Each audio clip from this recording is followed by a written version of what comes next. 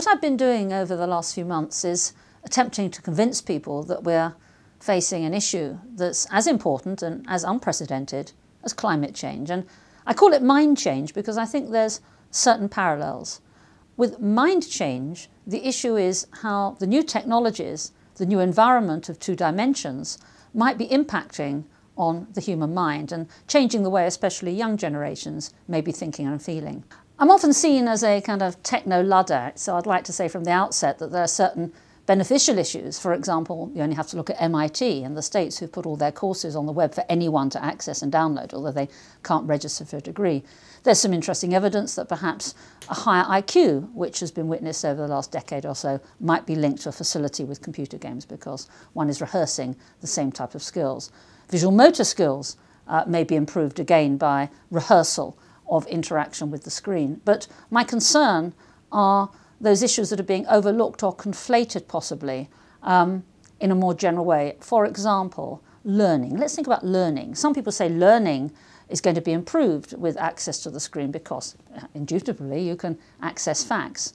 But information and accessing facts is not really knowledge, it's not understanding. And I fear that sometimes there may be such an enthusiasm for being bombarded with facts that people think that automatically, along with the facts and the ability that we can respond to those facts quickly if we wish, comes understanding. And I think it's quite the opposite. My own view is that understanding involves hooking up one fact with another. Facts on their own are pretty boring, but when they are compared one with another, that's when you start to develop ideas. And I fear that this enthusiasm for learning and information may be missing out the quintessential ingredient of understanding. Another issue I'm worried about is gaming. I think it's a very dangerous lesson to learn that actions don't have consequences, that someone can be undead. In real life, this is not the case. You may be sorry for what you've done, uh, you may be able to change your ways, uh, you may be able to do things that can compensate for what's happened, but you can't rub it out of the space-time continuum. You can't pretend it's not there. When you play a game, someone can be undead again. And I fear that this may be a rather dangerous lesson to learn. And if you're doing such activities all the time, i.e. doing things that don't have consequences, I would argue they don't have meaning. And if you're doing something that doesn't have meaning, what would that say about you? Inevitably, uh, I have my detractors. Um, and one of the most common complaints is that there's no evidence for what I'm saying. And I think I've got several ways really of addressing that. Um, first, of course, is absence of evidence isn't evidence of absence, as witness the smoking in the 50s. That was the mantra of the tobacco companies, that there wasn't any evidence. That's the first issue. Second, as a neuroscientist, I think there is evidence, certainly, that the brain will adapt, and therefore it's not an unreasonable assumption that it will adapt in a way that is uh, equipped to survive almost as though it's a computer itself in a two-dimensional world where fast responses are mandated in response to stimulation rather than in a thought. That's third. There is actually evidence accumulating. There's Nicholas Carr's The Shallows. There's Richard Watson's Future Minds. There's Sherry Turkle's Alone Together. There's a brilliant review by Daphne Bavelier in the very high-impact journal Neuron from last year, uh, where she suggested that there was a tendency now for increased in distraction, uh, violence, and addiction um, related to screen technologies.